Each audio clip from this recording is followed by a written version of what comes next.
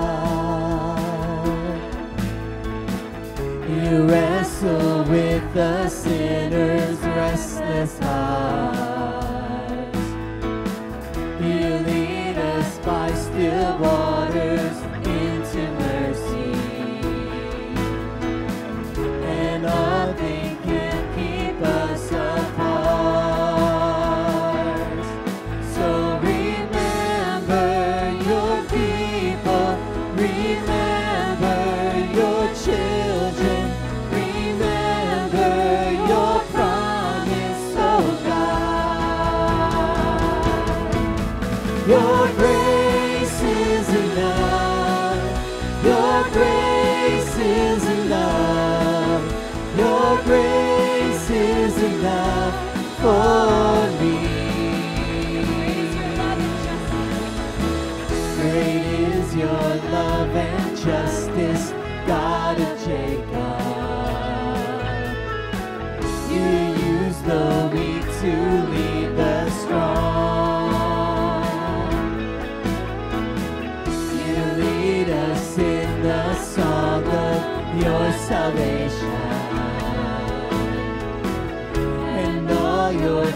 People sing along.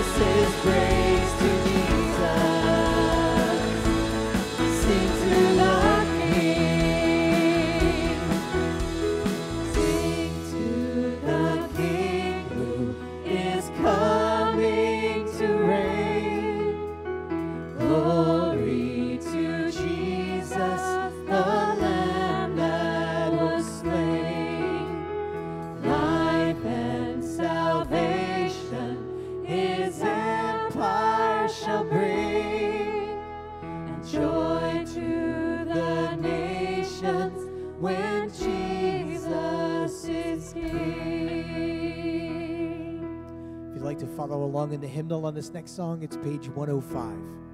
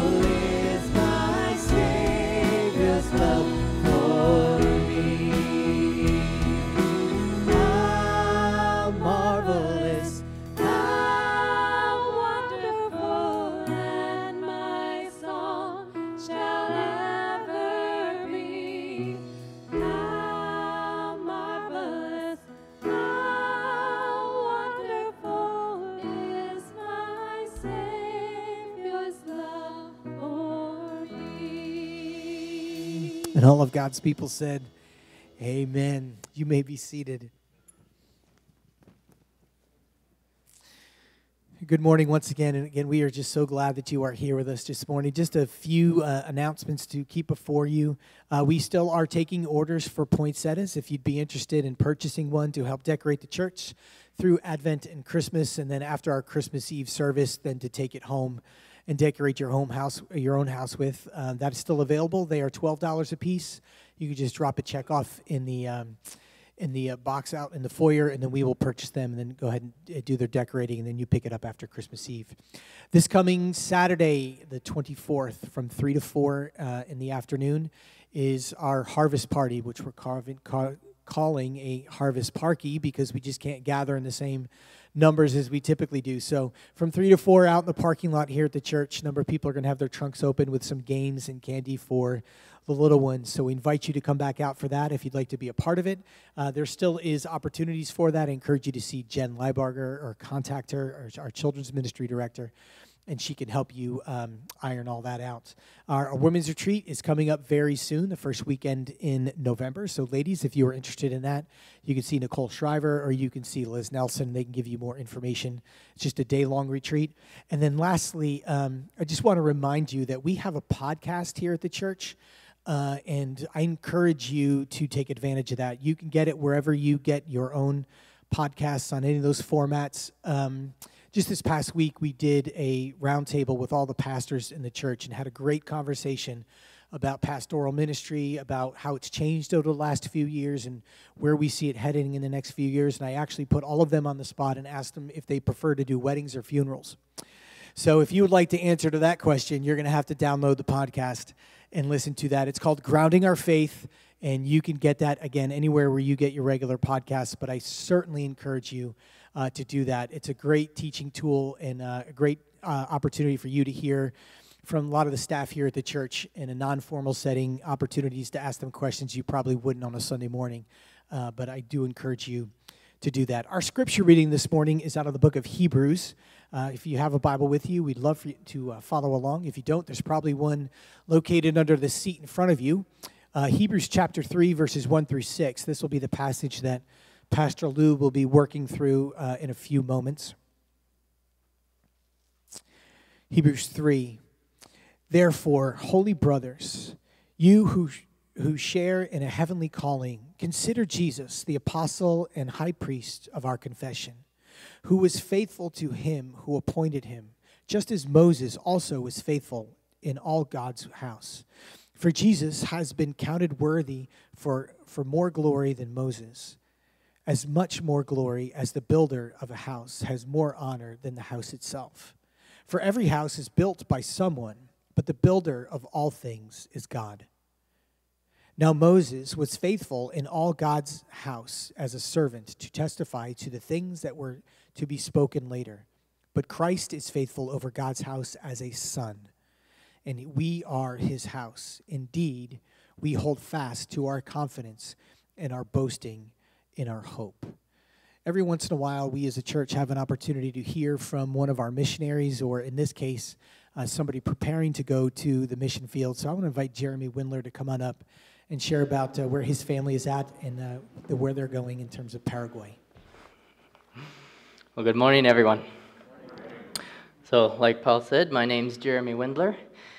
About two years ago, I had the privilege of standing up here to share me and my wife, Kayla's, vision to be a part of taking the gospel to the least reached people groups of the world. With the church's blessing, we packed up and left New Hampshire with our new five week old son and attended a missions training institute focused on equipping missionaries to do church planting amongst least reached people groups. Well, by God's grace, we completed that training this spring and joined an organization called Partners for Paraguay. So, right now, we're in the process of raising support with plans to head to Paraguay, South America as missionaries. So, why Paraguay? Well, some of you may remember me sharing in the past that I was born and grew up in Paraguay. And because of this, I've had firsthand experience in seeing the many needs that exist, especially amongst the indigenous people groups, and particularly the lack of access they have to the gospel message. I remember a time when an indigenous man hiked from several villages away to come see us. He came particularly to see my dad and ask him whether he would come and teach his family about God. And I remember the heaviness in my dad's heart that day. He had to turn him away basically say he couldn't teach him at that time. You might be asking, why would my dad say no? Wasn't that what we were there for? Simply put, my dad didn't have any more time or energy to give. He was already putting in over 70 hours a week in ministry, on top of being a good father to the family. I remember my dad often quoting Matthew 9:37 to me. In this verse, Jesus says to his disciples, "The harvest is plentiful, but the labors are few. For many indigenous people groups in Paraguay, this is still the case. I'd like to give a few statistics that paint the picture of the needs that are there in Paraguay. There are around 19 to 20 different tribal groups, each made up of a varying number of villages or colonies. I don't have time to give numbers on all of them, but at least give a few percentages and statistics on a couple groups. One, the Paintabutena. They have 74 communities in Paraguay. And they're around 80 to 85% unreached, meaning they have little to no viable access to the gospel message. The Ava Guarani, it's another group, has around 156 communities, roughly 70% of which are unreached and isolated from any gospel witness. The Mbya have 150 to 200 communities in Paraguay and are between 90 to 95% unreached. These communities are very isolated and resistant to the gospel, but God is working and doors are opening to ministry there. And the Mbya are probably one of the least reached people groups in all of Paraguay. Aside from the obvious lack of the gospel message, these communities are also plagued by major issues like the lack of sustainable economics, lack of education, adolescent and teen suicide, drug and alcohol addiction, prostitution, and drug and human trafficking. Now, inevitably, when I mention these kinds of issues, people start asking, is it safe in Paraguay? In answer, I must say, in many areas, probably not. Last year, while we were going through training, me and my wife received the sad news that one of my relatives, serving in Paraguay as a missionary, was shot and killed. This did cause me to question our plans. Did I really want to give up the comfort and safety of the U.S. and take my family overseas? In answer, here's the conclusion I feel God led us to. Our fear does not change that God is sovereign. Our fear does not change God's love for the lost. And our fear does not change the command that God gave in Matthew 28 19 to go and make disciples of all nations. And if my family were in the same shoes as the unreached of this world, I hope someone would be willing to take the risk to tell me about Jesus. And wouldn't you? In Romans 1 14 through 16, Paul states this I am under obligation both to the Greeks and to barbarians, both to the wise and to the foolish. So I'm eager to preach the gospel to you also who are in Rome, for I am not ashamed of the gospel, for it is the power of God to salvation for everyone who believes. In the first part of that statement, Paul exemplifies the attitude that the Christian should have about the gospel message. You see, Paul understands the gospel is the cure to the most destructive cancer and disease the world has ever known. In it is the message of how our broken relationship with God can be restored. In knowing this, Paul recognizes we Christians don't just have a task, but an obligation to spread the gospel message to the world. A friend of mine who passed away of cancer recently made this statement The only thing you can take to heaven is other people. Invest in them, everything else is irrelevant. It's with these kinds of truths in our mind that Kayla and I are raising support to go to Paraguay as missionaries, and our plan, God willing, is to be there by 2022 or sooner if God provides. Thanks.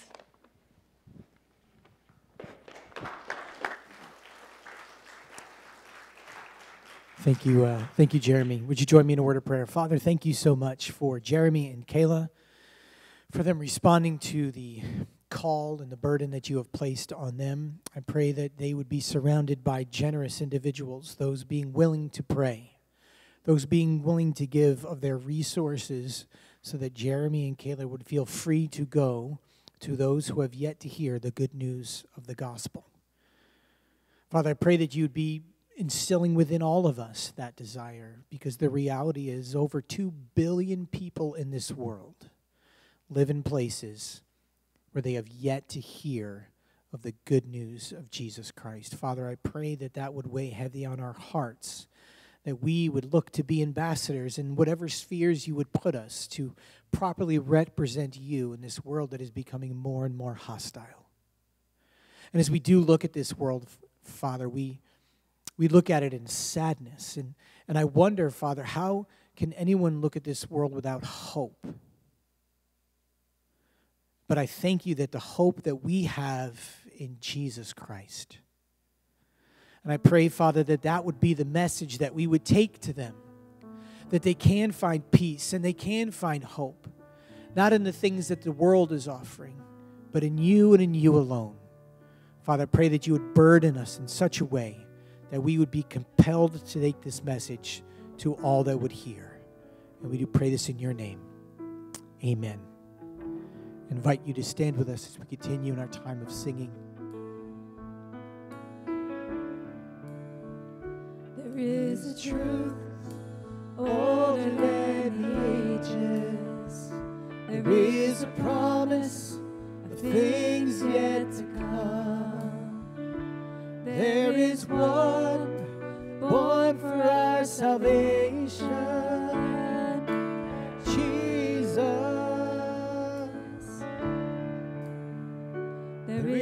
light that overwhelms the darkness. There is a kingdom that forever reigns.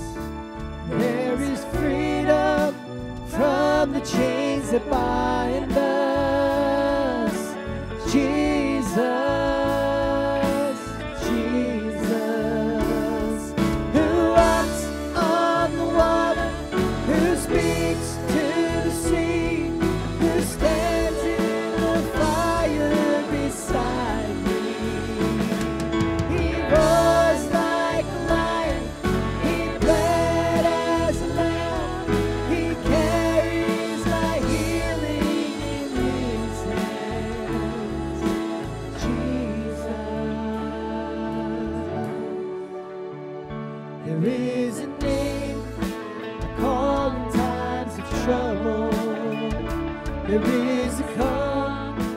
Comfort in the night. There is a voice that calms the storm that rages.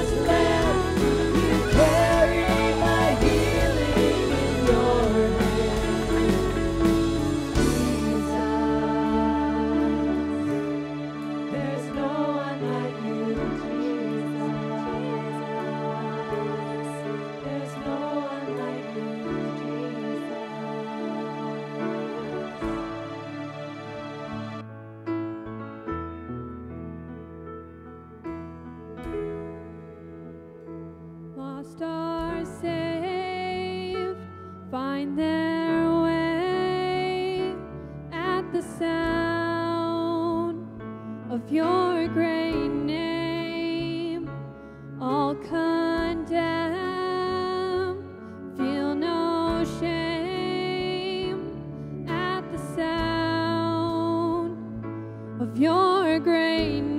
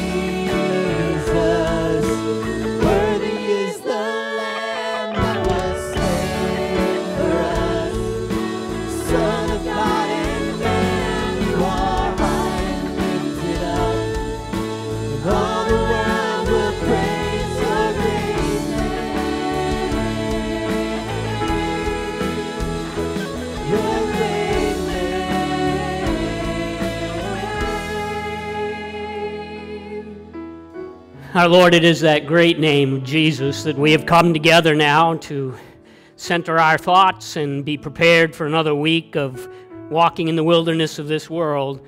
And we do recognize that Jesus is superior to everything this world has to offer. May you drill that into us and give us more confidence and more hope today as we encourage one another. In Christ's precious name, amen.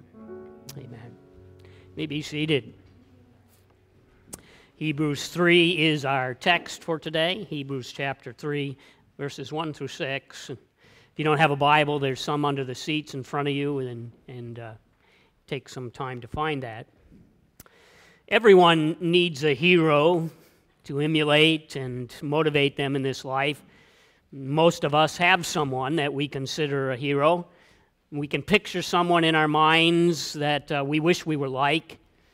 Maybe it's a sports hero or a national hero or even a Christian leader. They are important because they serve as moral examples for us to imitate. The nation of Israel had many heroes as well, but unquestionably the most prominent one of all, the most revered, was Moses. The Jews respected the angels we've seen, but when they turned to the earth, Moses was on the top of the list. It's not bad to have heroes, but it is a sin to partake in hero worship. In many in the Jewish community at this time of this writing, we're on the verge of revering Moses a little too much. We have seen that the entire book of Hebrews is about the superiority of Christ over everything in the world. And it stands to reason that Moses is brought to the dock as a witness now. So, in the first six verses of chapter 3, Moses and Jesus are compared side by side. And clearly, Jesus is superior to even the great Moses in at least three ways in our text. Moses led a physical delivery, but Jesus leads a spiritual one. Moses was part of God's salvation, but Jesus is the heart of salvation. Moses was a servant, but Jesus is the Son. So let's look at that first comparison in verse 1. Therefore, holy brothers, you who share in a heavenly calling, consider Jesus. The word therefore is a conjunction, and it connects the chap- chapter 2 before it with chapter 3. And if you were here last week or the past few weeks, we learned that in that chapter, Jesus is superior to angels. That was the first comparison. They were powerful and very important in God's program, but they could not do what Jesus did to save humanity. Based on this previous argument, the author now asks for his readers to keep looking and look at Jesus. And he calls the readers holy brothers because of the work of the high priest Jesus. The word brothers is a very familiar word in Greek. It's adelphos, and it means from the same womb. And here it's used in a general way to speak of mankind in general and, and refers to brothers and sisters or siblings. We were all born into the family of God through the Holy Spirit, and when we were, God declared us as holy because of what Christ did for us. His righteousness overflows us, and we are viewed as holy in God's eyes. But then we learn that we become progressively more weaned from the sin of this world day by day as we grow in Christ. But as siblings, we share in a heavenly calling. We are partners, that's what sharing means. When Christ died and rose from the dead and then ascended into heaven, he took us with us in spirit, and in the future, we will be partakers of heaven. We have received a heavenly call. Now, because of what he did through his life and death, we need to consider him. The word consider is from, uh, originally, the English word is from Latin con, which means uh, examine, and sider, which means the stars. And originally, that word meant to consider the stars, look, uh, look in and study them, chart them out. It's a very intensive word. But the word behind our text is a Greek word, and uh, it is kata noeo. And kata means to look down at something, and na'o is to think. And so it means to think upon something very closely. That's what consider means. And what should we consider? Well, the object is Jesus. If you've ever tried to master a subject, you realize that you don't just study the subject, you study the opposite of it to, as a contrast. And so, before we can really understand Jesus, we need to consider the contrast here, which is Moses. Unfortunately, many of us don't know a whole lot about Moses. We've known the name, but we, we don't know as much as we might think. And so let me take a few moments in case there are people here that, that don't know the history of Moses. It's a good review for us who do know him because uh, that's the audience who's reading this are Jewish people and they know Moses very well. And so the author didn't have to go into that. But number one, Moses was divinely delivered in his childhood.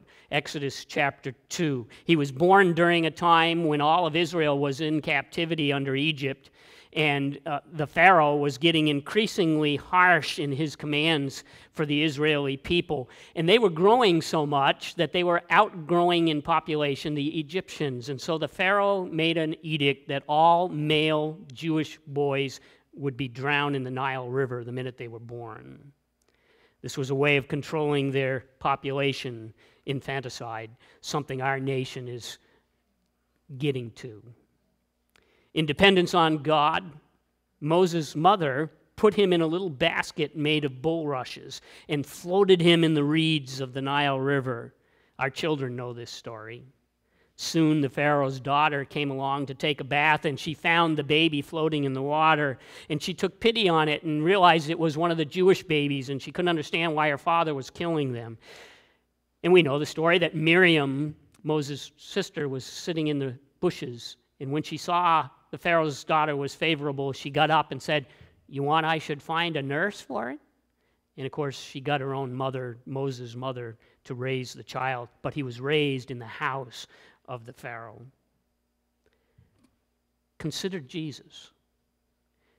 Let's contrast his history to Moses. Our Lord came into existence through a miracle, not just superintending of God, but through a miracle of a virgin birth.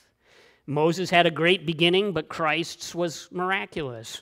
He was born in obscurity, and according to Revelation chapter 12, which some of us have been studying in the past weeks, the devil was waiting to consume him the minute he was born. Not just the Pharaoh, but the devil himself.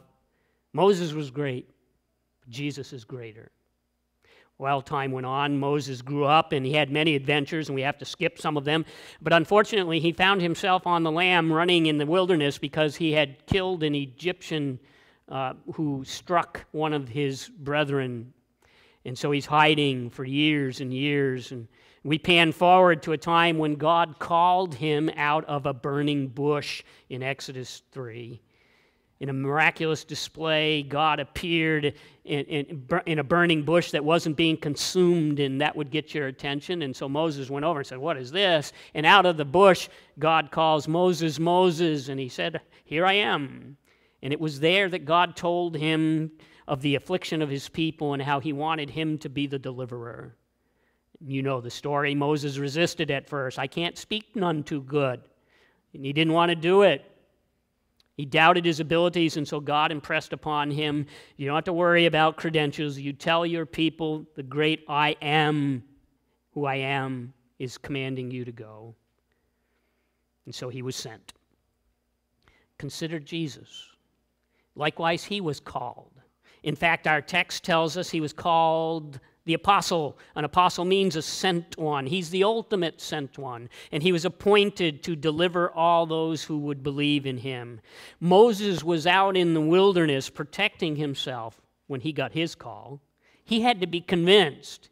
He wasn't all that crazy about it. But Jesus came to the earth and he went into the wilderness for temptation just to prove that he was who he said he was. He wanted to come in the first place, it was a willing choice. This call led to Moses becoming the divine deliverer. Chapters 7 through 12 of Exodus. Pharaoh increased his pressure upon the nation. He made them make bricks out of things that out of inferior materials And if anyone disobeyed, they were treated harshly. And so God had had enough with the slavery. And he sent Moses to preach to Pharaoh. And so you have this mere Hebrew uh, confronting the most powerful man on the earth, Pharaoh. He went boldly in before him and said, Let my people go. By the way, he's a, he's a perfect mediator because he's both raised in the Pharaoh's house, but he's a Jew. And so he represents them. But Pharaoh wouldn't let the people go. And so God used Moses to release a, a, series of plagues, one at a time, upon the Egyptians, aimed at their false gods to knock the foundations out from underneath them. The first plague was blood in the Nile River. And if you know anything about Egypt, the Nile is Egypt.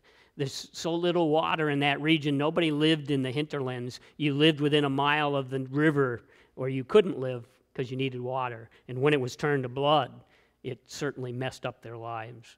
The second plague consisted of frogs. Everywhere they looked, there were frogs. They were in their tub, they were in their beds, they were in their tofu soup. And the Egyptian goddess was named Heket, which means frog head. The third plague was gnats. Need I say any more? The fourth were flies. The fifth was disease among the livestock. The sixth consisted of boils on man and beast. The seventh was hail that killed many animals and people. The eighth was locusts, which ate all the crops. And then the ninth was a plague of darkness. Egypt believed in many gods, and so the true God was showing them that their sub gods were inferior, God was superior. But Pharaoh still wouldn't let Israel go. And so God had to step up the intensity. And the 10th plague found in Exodus 11:4 is the promise that he, an angel was going to kill the firstborn of every family and every animal if they did not repent. But this time it covered the Jews as well as a test of their own faith. And so they were under that sentence. But an avenue of salvation was given by Moses. He told the people that if each family who believed in Yahweh, who believed in God, would choose a lamb without spot and blemish, and then sacrifice that lamb and draw the blood out, and then paint it on the post and lintels of their house, that when the death angel flew by, they would pass over their house and not strike it. And thus, Moses gave the greatest celebration of the Jewish faith, the Passover consider Jesus. Jesus is the Passover lamb who died for the sins of the world. He is greater than the one who promised the lamb. He is the lamb. Well, Moses then continued to lead the people. He led them away from Pharaoh. He chased them into the Red Sea. God dried up the Red Sea, swallowed Pharaoh's army. Great miracles surrounded this man, Moses. And while he was in the wilderness, Moses became the agent of giving the law and the covenant. The Ten Commandments are the heart of the law, and they're the most famous standard for human behavior that has ever been found its place on earth. And you remember the Ten Commandments, right? If you don't, we should constantly review them. One God, no idols, respect God's name, remember the Sabbath day honor your father and mother, don't murder, don't commit adultery, don't steal, don't lie, and don't covet. We should constantly remember those laws. But consider this consider Jesus. Christ fulfilled the law, He kept it in every part which no other person has ever done. Moses gave the law, Jesus kept it to the nth degree. Therefore, he is greater. Not only did Moses give Israel the law, he organized the Levitical system. That's what the book of Leviticus is all about. And in it, he instructed them how to build the tabernacle. And then that became the temple, the greatest symbol of God's presence on the face of the earth. Furthermore, he gave what we know as the Torah, the first five books of the Bible Genesis, Exodus, Leviticus, Numbers, and Deuteronomy. And on top of this, God had him say this about himself in Numbers 12:3 that he was the meekest man on earth. even if he did say so himself. But you see, he had learned from 40 years of desert life to lose his pride, and God said, That's all right, say this about yourself. I'm telling you what to say. Not only was God with Moses at the beginning of his life in the basket, but he's the one who personally buried him out of respect for him, but also because he was such a well loved man, God knew that people would worship his gravesite like Elvis. He was a great man, so great that there's even a dog named after him. Uh, that, that's, that's my dog, Moses. But I would never name my dog Jesus. Is it any wonder why Moses was a hero to the Israelites? We cannot consider Jesus without considering Moses. Jesus is superior in every way. So, what should they see when they focus upon him? They see that he's the apostle, he's the sent one, and he's the apostle of our confession, as our verse reads. And the word confession means uh, to speak the same thing, to be the source of what we all agree about as a, as, as a church. And what is that? We believe in Christ and the gospel. The gospel is that we are we have been redeemed from sin in this world, and we are pilgrims now, and Christ is our leader in the wilderness of this world.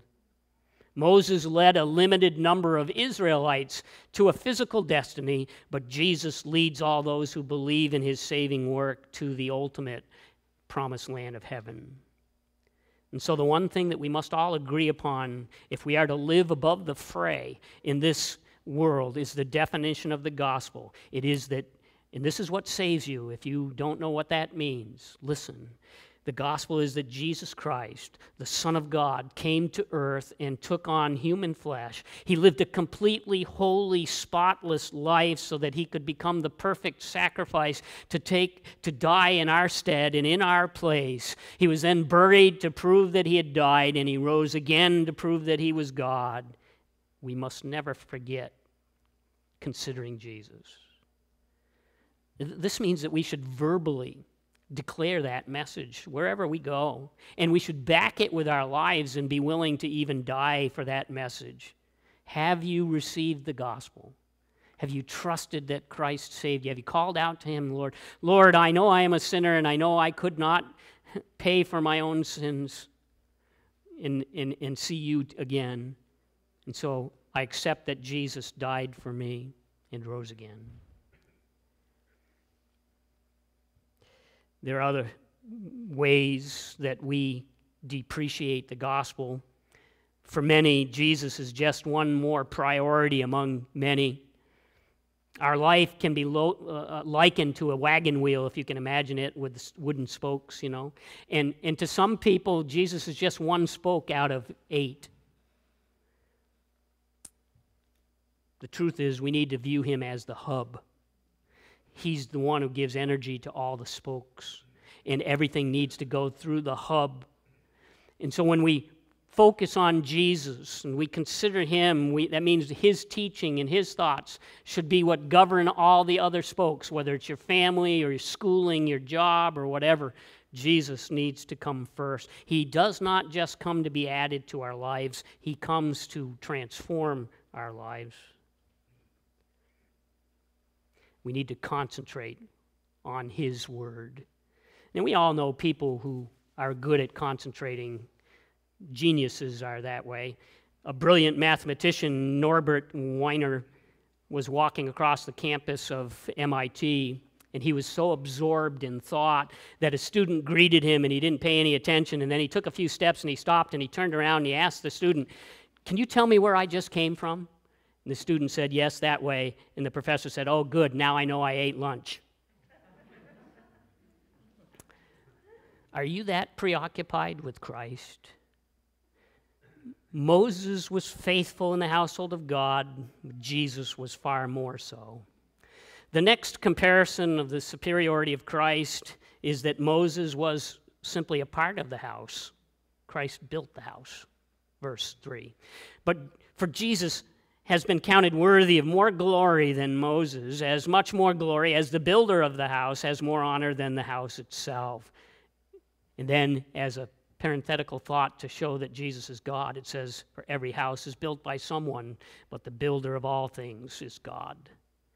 The word house is used six times in these verses. Moses was the builder of what we call the Old Covenant, having to do with Israel. Jesus is the builder of both, but culminates with the New Testament. He's the builder, he's the creator, and so he's worthy of more honor than someone who's just living in the house. Lastly, Jesus is superior to Moses because, like the angels, Moses was just a servant. Jesus is the Son. Verse 5. Now Moses was faithful in all God's house as a servant. And what did he do? To testify to the things that were to be spoken of later. But Christ is faithful over God's house as a son. So Moses is faithful, but he's a servant. In God's grace, God calls him a servant with a, a better name than the typical word for servant. The typical word for servant is slave, somebody who has no choice. But the word here is therapon, which means that he actually voluntarily became a servant. And what did he do? He testified to things to come. He spoke of Jesus. And Jesus is saying that he is the one who he pointed to. I mean, remember uh, when Christ was walking on the road to Emmaus with the two disciples? It says he opened the scriptures and he showed them from Moses through the prophets everything that spoke about him. In fact, many authors believe that the book of Hebrews consists of what Jesus shared with the two disciples on the road to Emmaus. Think about that. That's, that's what we're walking through now. We didn't have to be there with Jesus, we, we're, we're getting the message right now. All the things that Moses accomplished were just a fraction compared to what Jesus accomplished. Moses was a servant, Jesus is the son. The son built the house, the son runs the house, the son pays attention to those who are in the house. And who is the house? Verse 6. Verse 6 And we are his house. His house is the body of believers. In the Old Testament, the body was Israel. In the New Testament, it is the church. The church is God's house, not a building. And we all know that in our heads that the church the church is not the building, it's the people. We, we say that all the time, but I, I wonder if we uh, really comprehend that. We don't act like it sometimes. And you hear about it every once in a while. Oh, this is God's house. We can't drink coffee in the sanctuary. We can't eat in God's house, even though we're called to eat a meal every month in the, around communion. We think, oh, I can't pray to God unless I'm in the sanctuary with quiet music and dark lights. Can't pray unless you're in the sanctuary. We know that's not true. The church is you. You are the house. And there are many ways that this family gets together other than on Sunday morning. Right now, our men are away at a men's retreat, or some of them anyway. Yeah, I guess not all of them, but uh, it so happens, though, that we value getting together all at once from time to time. And, and, and it seems to be the habit of the church since the beginning that they like to get together, just like you like to get together at least for Thanksgiving with all of your extended family. There's something about it that energizes you, and that's why we desire to be together. We don't need a building, but around here, we need a building. You're either freezing or hot or it's raining. And we could survive if we didn't get together like this, but we believe it's a good practice that, that has history behind it because that's how we encourage one another. When we ignore the gathering of ourselves, we ignore the value of God's spiritual house, and it cuts our boldness in half when we are not together. And what do we do when we come together? Considered Jesus. I mean, do you, do you, think about the songs that we sang? That's what we sing about every week. Jesus' name is what makes the difference. You name his name and it changes someone's life. That's what we consider. We sing about his glory, and then we take time to look at a particular thing about him as we exposit a particular passage. And then in our other times out throughout the week, you get together and you zero in on a particular teaching because we all need to do that. A, you're a wonderful house. It's really fantastic. And Christ has done all of these things for us, and He asks us to hold fast our confidence. We need to focus on Him. Moses did great things, but Christ did greater things. And so He tells us to hold fast our confidence. What's that mean? How is your perseverance? How are you holding up in these days? Are the waves of life washing you away from your anchor? Is Jesus still the love of your life? Are you running to Him or are you hiding from Him? Are you confident in the message of the gospel or are you ashamed of the gospel of Christ? Since Christ is superior, we're called to start living like He is superior. We are His house, if indeed we hold fast our confidence in our boasting. Confidence is the freedom of speech and openness. It's the call for us to speak truth regardless of what the culture thinks. And you know, we're going up against a culture which, which hates the way that we believe. Does it melt your resolve? The if clause here in verse 6 is not saying that we can lose our salvation. That would contradict the overall theme of the book. The theme of the book is that Jesus is the author. What's that? The beginner. And the finisher of our faith. It doesn't say in between that you get to cut the cord. He's the author and the finisher. Holding fast is what we do to demonstrate that we are on board and that we have confidence. Now, there will be those who profess to be a part of the house who really are not. And like the parable of the seeds, when adversity hits, they disappear. They disappear. But the believer, the true believer, perseveres, and trouble just intensifies their hope. Chuck Swindoll warns those who are truly in the household of faith live under the Father's roof and the Son's watchful eye.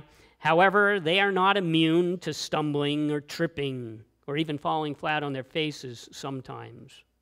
And so when I refer to stumbling, I'm talking about occasional one time fallings, not the character of our whole Christian life. We all stumble, don't we? We all sin every week in ways that we don't want to admit. I mean, Moses himself got angry and struck a rock, right? And what happened? He couldn't go into the promised land, but he still made it to heaven. See, that's the sub theme of the book of Hebrews. Your, your faith in Christ's work is what gets you to heaven. Your enjoyment of earth is dependent on your obedience. The warning here is to the Jewish body that's reading this book. And the author is saying, Some of you aren't really on board. I'm telling you, don't abandon your faith in Christ for Judaism. Don't go back. To do that demonstrates that you never fully understood who Christ was. So examine your roots, and we need to do the same thing. Are you really trusting in the finished work of Christ for your salvation and how you live? Or is it just an added spoke to your life? True regenerated believers will persevere to the end. We will keep our focus on Christ. We will look ahead to the hope of his return to relieve us of this place. A lack of confidence is given to us as an example in the nation of Israel when they approached the promised land. Remember, they'd been wandering for a little while. They approached the promised land and they sent in spies, right? And when the spies came back, the people said, We're not going in there. And when you ask them, they say, I know that, that God parted the sea and saved us from Egypt. I know that I've been wearing the same moccasins for years and they don't wear out. I know that food fell from the sky and eh, like bread and, and, and quail. And I know that water gushed forth from a rock every time we were thirsty. but God's not going to be able to overcome the enemies in the promised land. They had all the evidence of God working in their lives, but they wanted to go back. But confidence could be seen in Joshua and, and Caleb. When they went in, they came out and said, This is nothing. Look what God's been doing for us. Yeah, there's giants in the land, but God will mow them over. See, we have to be careful lest we lose out on the blessings of a life of confidence in the faith. Can you see the similarity between us and Israel sometimes? I know God has worked in my life, but He could never help me in the present block that I'm going through right now. I know He has delivered me many times in the past, but I don't believe He can take this addiction away from me. I don't believe that He can restore this broken relationship of my life. God is God, but He's not that powerful. You see, the sin of Israel and the sin of the church is a short memory. God loves to do the impossible. And if the impossible has been slowing down in your life, it might be a sign that you are no longer trusting in Him, but you're handling it on your own because you really don't believe that He can deliver you. What is the role of a son? They take care of everything, they possess everything, and they do what they like with the ones in the house. The house, you and I were made for Him. Ephesians 3 7 says that Christ may make his home in your hearts by faith. Christ's come into you. You need to let him live through you. So Christ is superior to Moses because he brings us to eternal life that affects our physical life. He's the builder of the house, he's the son of the house who runs it and has our best in mind. All we have to do is trust him. Now, I can't help but make uh, some reflections on the history of this church here itself. He's back on June 1st, 1986. I preached this passage to a very small group who was getting ready to build the first time. And we were afraid of building. We didn't want to buy land. We had outgrown the Grange Hall that we were meeting in a half a mile across the road here. And we needed to do something, but we just didn't think that we had it in us to be able to afford to build.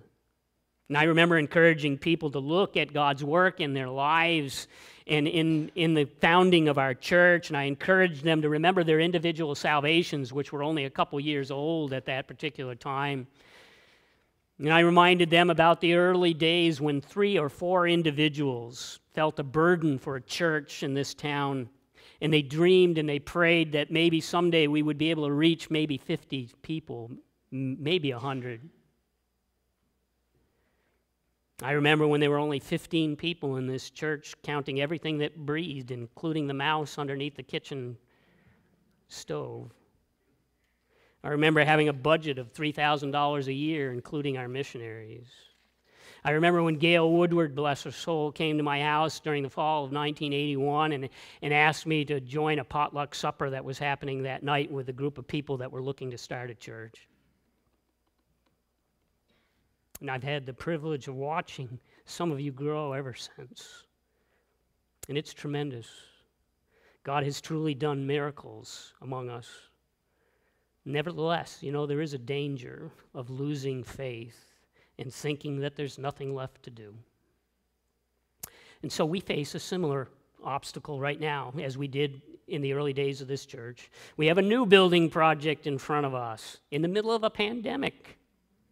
What kind of idiots would build during a time when we're told we're never going to get together again? And we ask ourselves, how can we do this? And the answer is we cannot unless we consider Jesus. And He can do anything. We need constant encouragement, and that is what the house of God is all about. It's not just the teaching, it is the way that we encourage one another to keep walking in endurance. And enthusiasm keeps our confession strong. On March 10th, 1904, uh, the great escape artist Houdini was challenged to a contest in London to have his hands handcuffed with six different locks, and on each lock there were nine tumblers that he would have to figure out how to get unlocked. And so he agreed to the challenge at the Hippodrome in London.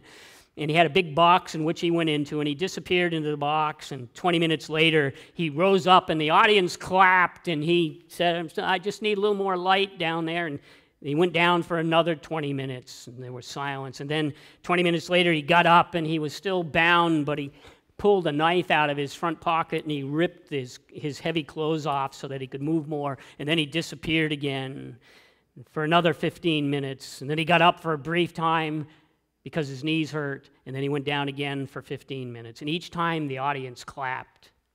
And then finally, the last time, he was freed. Now, a reporter investigated and asked him, why did he keep coming up when he really wasn't loose? And he said, honestly, I needed to hear the encouragement of my people. You see, don't underestimate the encouragement that goes on when we gather together in this house of believers. It's what keeps us going in the faith. I am encouraged when I see and hear how God is working in your life.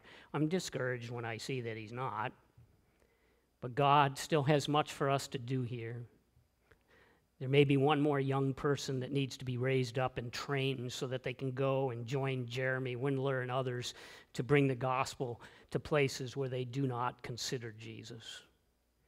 Are you weary because of the cultural attacks upon our faith in this day? Consider Jesus. Is he at the center of your life or is he merely an add on? Is he a spoke or the hub? What needs to happen in your life to make sure he becomes the hub?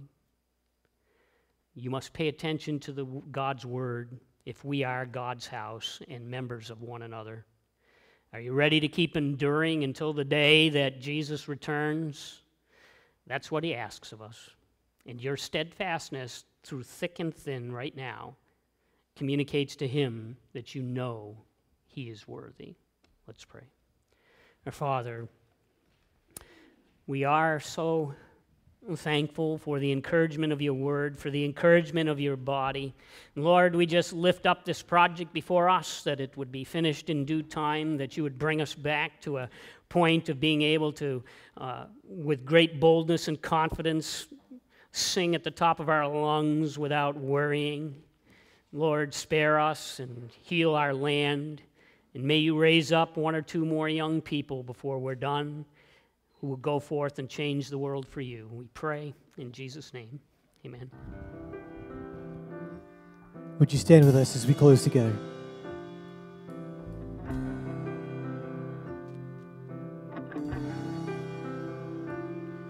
Do you feel the world is broken? We do. Do you feel the shadows deepen? We do. But do you know that all the dark won't stop the light from getting through? We do. Do you wish that we could see it all made new?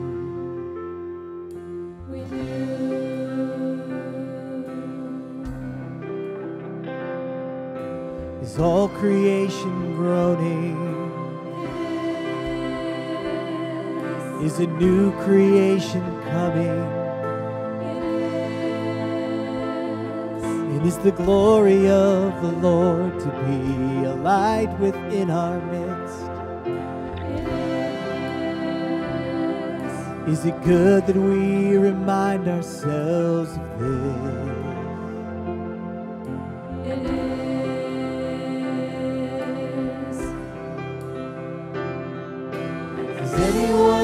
Anyone worthy?